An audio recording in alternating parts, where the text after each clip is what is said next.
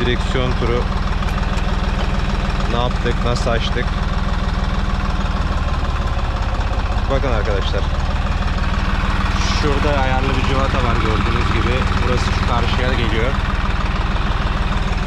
Ee, daha sonra da bakın. Şurada sarı bir civata var gördüğünüz gibi. Bakın. Turu tam çeviriyorsunuz.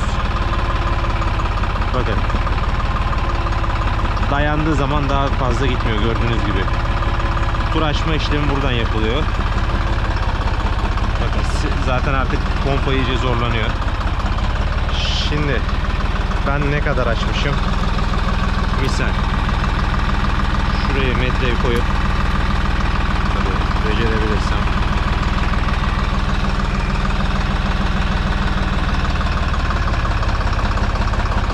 Bakın hemen hemen 14 santim geliyor şu anda. Şu köşeye yasladığım zaman.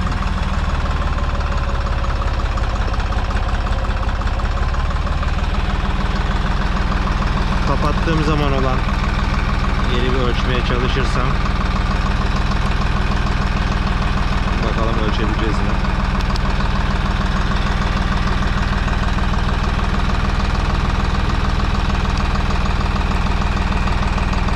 Şöyle köşeye yasladım. Tutabilirsem.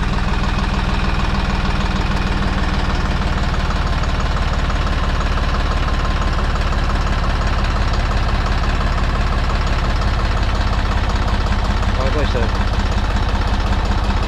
iyice yasladım. Aşağı yukarı kapattığım zaman şu arası şu keçenin üstüne koydum. Şurası 3 santim falan geliyor. Hani metreyle bilgi vermek istedim. Bir de diğer taraftan göstereyim. Zaten bakın e, gözüküyorsa şu kadar bir alan var. Pompa buraya kadar geliyor.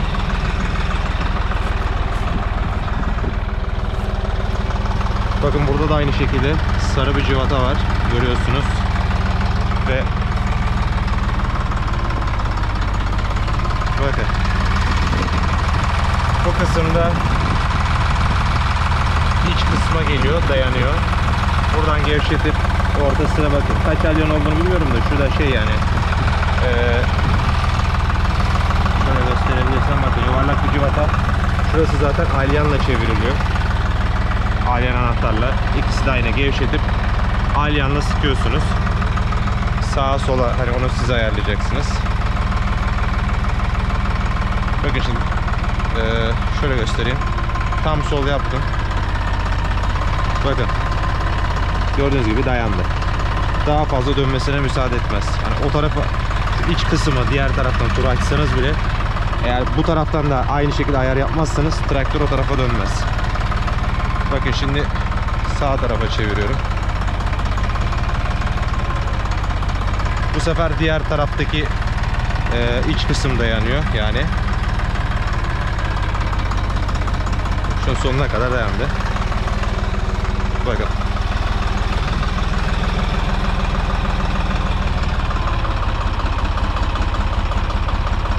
Bu kadar. Daha fazla müsaade etmiyor.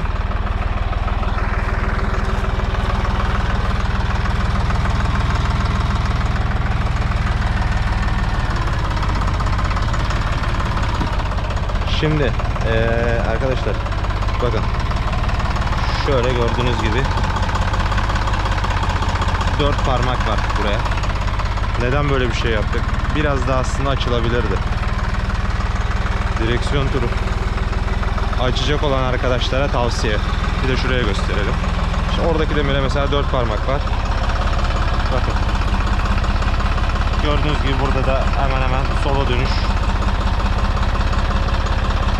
3 parmak falan mesafe var. Yani 3 3,5 parmak. Belki de servis açarken eee, şey yapmış olabilir. Servisteki arkadaş açarken işte mesela bir tur bir yeri daha fazla eee, ayar çekmiş olabilir.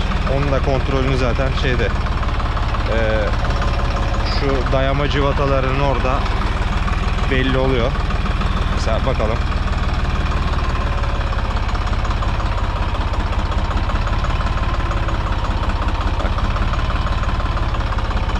Buradan gördüğünüz gibi biraz mesafe var. kontrolünü yapalım. Şimdi tabi buradaki ekipmanla orası farklı olduğu için yerleri ona böyle artık santimle e, ölçerek tekrar kontrol edersiniz en son. Açacaksınız. Bu ön civatalardan turlar açılıyor. Şimdi asıl önemli konu. Bakın e, internette de var. E, mesela bir Same traktörde yapıyorlar. Şurada gördüğünüz gibi takoz var. Bakın V30'daki takoz farklı. Bak şurada bir boşluk var takozun orada. Umarım gözüküyordu. Bir de diğer taraftan göstereyim.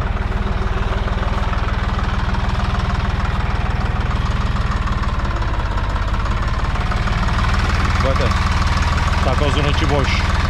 Şurada bir takoz var. Şimdi siz buradan bir santim tıraşlarsanız buradaki malzemenin, malzemenin mukavemeti azalacaktır. Yani mesela şu içi de dolu olsaydı e, tamam derdim ama bir de şöyle de bir durum var. Eğer olur da burayı tıraşlarsanız bir santim dahil alırsanız tamam askı yeteneği gelişiyor.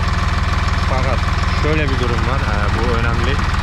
Bu ön jant 20 jant. 18 jant olsaydı biz bu direksiyonun turunu biraz daha açabilirdik.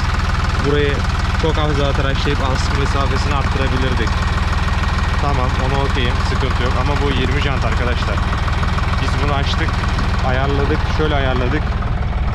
Mesela ben e, tekerleği sağa doğru tam çevirdim. Bakın zaten artık sonuna kadar geldi. Bunu e, askıya alıyorum böyle traktörü. Askıya alıyorum. Askıya aldığım zaman burası yukarı doğru geliyor arkadaşlar. Burası artık şey dediğim gibi 4 parmaklık mesela mesafe var dedim ya. Bu 4 parmaklık mesafe şey hmm, bu 4 parmaklık mesafe mesela arkadaşlar şey e, askıya geldiği zaman iyice yaklaşıyor. Ha, artık böyle iki parmak falan kalıyor.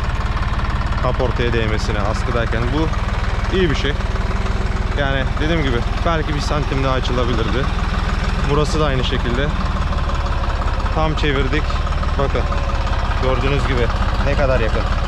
Bu şekildeyken askını al, askıya aldığım zaman artık şey e, daha yaklaşmıyor. Buradan yukarı doğru geliyor. Yani kaportaya yaklaşıyor. Eğer ki 18 cansa bir tık daha açabilirsiniz çünkü lastik biraz daha küçük. Dönüş turu biraz daha arttırılabilir ama 20 jantta dönüş turu 18 jant kadar fazla açarsınız muhakkak arkadaşlar kaportada bir yere gelir ve kopartır. Bu bilginiz olsun. Bu önemli. Başka direksiyon turu hakkında diyebileceğim bir şey yok.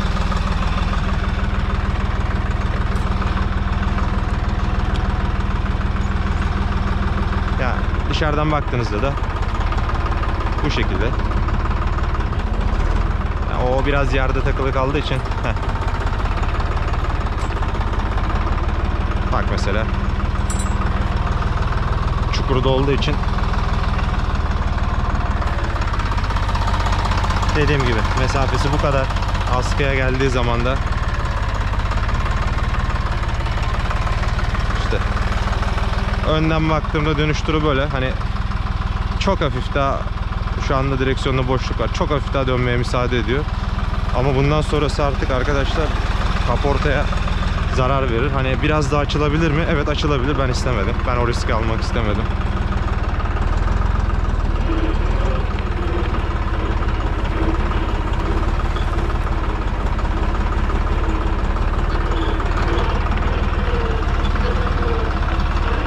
Ya işte sağa doğru bir dönüş yaptım mesela. Tekerlek bu şekilde. İşte sola doğru dönüş yaptım. Bu şekilde şöyle bir dönüş yapayım. Tam sollu.